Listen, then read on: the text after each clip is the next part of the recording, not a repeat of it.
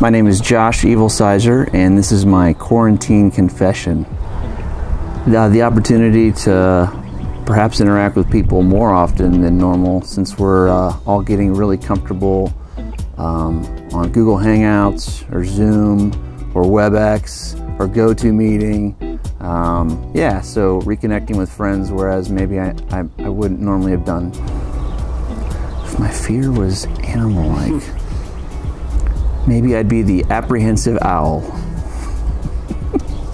you know, of course, they're going to ease travel restrictions, so um, going somewhere maybe out west this summer. That'd be nice. I've been reading, um, it's called To the Golden Shore, and it's about Adoniram Judson, um, one of the first uh, missionaries to uh, Burma.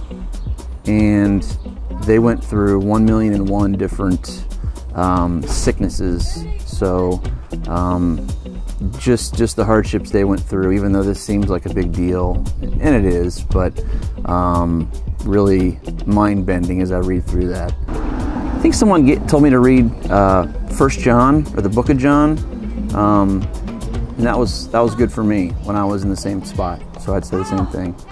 My name is Josh Evilsizer, and this has been my quarantine confession.